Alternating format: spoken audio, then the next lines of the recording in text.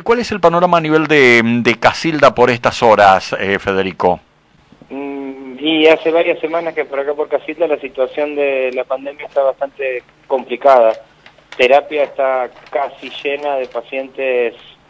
críticos con coronavirus y hay una rotación y una circulación de, pacientes con, coronavirus por el hospital relativamente importante, no está sobrepasada eh, la capacidad operativa del hospital, pero está funcionando casi, casi que a full. Eh, claro que es un poco la, preocupación que se tiene por estas horas a nivel del gobierno de la provincia. Digo, si uno lo compara con 15 días atrás, hoy el panorama no comienza a ser de colapso, pero sí indudablemente comienzan a ocuparse eh, esas denominadas camas críticas, ¿no? Exactamente, y eso era lo que nosotros vimos que sucedió tanto en España como Italia como Estados Unidos, y era lo único que justificaba ese goteo lento de casos que tanto agotó eh, social y económicamente a toda la Argentina. Lamentablemente, a pesar de eso, no se puede evitar una pandemia que ya superó los 25 millones de infectados en el mundo. Es evidente que va a estar por encima de la capacidad operativa de nuestro país en cuanto a contención. En cuanto a tratamiento, no todos los centros están tan mm, llenos o tan eh,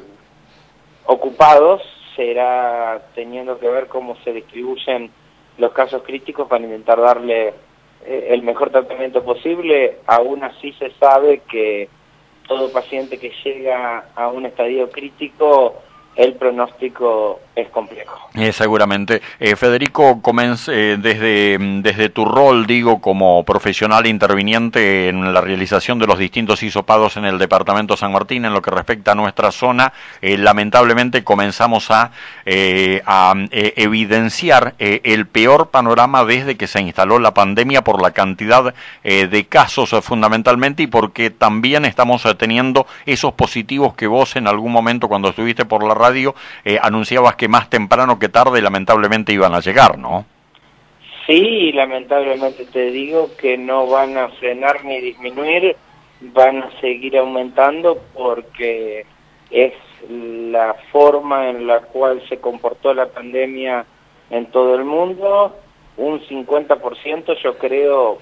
sin ser exacto en los porcentajes, pero en parte vamos a llamarlo porque el virus tiene una capacidad de transmisión y de contagiosidad realmente asombrosa y por el otro lado porque eh, nuestro país no se destaca justamente en cuanto a eh, cumplir y llevar adelante todos los planes y reglas que trae obligadamente una pandemia de esta magnitud. Exactamente. Eh, son casos positivos que ya tenemos en el Trébol, casos positivos que se vienen evidenciando en cantidad en María Susana. Los Cardos ayer suma eh, un positivismo en un, en un segundo caso, en este caso de una paciente eh, femenina. vos decís, el virus tiene una capacidad asombrosa, por lo que, por lo menos a corto tiempo, lamentablemente este es el panorama, Federico. Sí, yo creo que en las próximas semanas a pesar del excelente trabajo que he visto por parte de todos los personales de los centros de salud de las ciudades que vos nombrás con un seguimiento epidemiológico que realmente es agotador tanto para el personal de salud médico, enfermería y todos los servicios auxiliares que están intentando contener todos esos casos y todos esos contactos es muy, muy difícil frenar cuando en ciudades chicas eh, vos tenés 50, eh, 100 contactos, es muy difícil frenar eh, el foco y entonces la posibilidad de transmisión se eleva en forma exponencial y habitualmente esos son los índices que siempre midió el gobierno y creo que son bastante eh, predictores de cómo puede llegar a ir la cosa. Esperemos que al ser ciudades más chicas eh, se pueda contener un poco mejor, pero no es fácil ni seguro. Exactamente, Federico, una, una última pregunta porque sé que estás en plena actividad eh, en un lugar como, como es el, el, San Carlos de Casilda, ¿no? Pero eh, abusando de tu gentileza, eh, planteo lo siguiente, eh, se comienza a ver con mucha preocupación la, la demora eh, que por otra parte es lógica a partir de que se han incrementado los casos en, en la provincia y puntualmente en nuestra zona, eh, comienza a plantearse a nivel profesional como eh, una inconveniencia esto de, de, la demora del CEMAR para arrojar los resultados. Hay, eh, mm, digo, resultados que se están esperando de cuatro o cinco días atrás y como avanza indudablemente este, este virus, esto para muchas comunidades es verdaderamente problemático. Es muy problemático desde el punto de vista epidemiológico y social eh, y también desde el tema de, del tema de costos y de manejo intrahospitalario. Lamentablemente no es problemático desde el punto de vista terapéutico porque cuando uno tiene una alta sospecha de coronavirus no va a cambiar mucho el plan terapéutico en cuanto a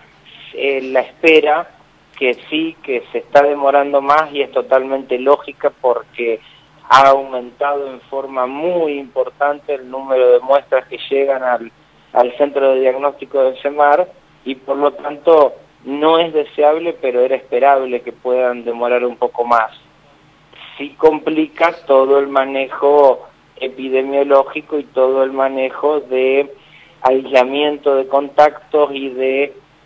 todo el gasto que implica en elementos de protección personal para el personal de salud. Seguramente. Y eso, eh, con tres pacientes, no es un problema serio. Cuando vos lo empezás a multiplicar por una cantidad importante de casos en una importante cantidad de centros de salud, se va generando una demanda de elementos de protección personal, un desgaste del personal y una muchísimo, un aumento muy importante también del riesgo de contagio del personal de salud por evidentemente exponerse mucho más veces a pacientes sospechosos o confirmados de coronavirus con toda la cadena que eso genera que no es tampoco fácil de, ni de evitar ni de contener.